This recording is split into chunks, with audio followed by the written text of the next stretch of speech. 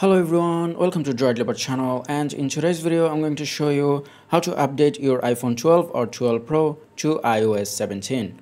Now what you have to do first is open your settings app and then go to general. From here go to software update.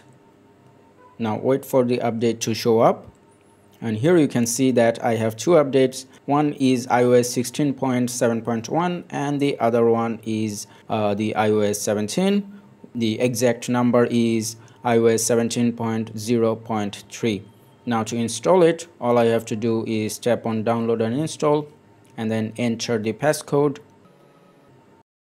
Now from here tap on agree and then tap on agree again. And from here select don't use cellular data.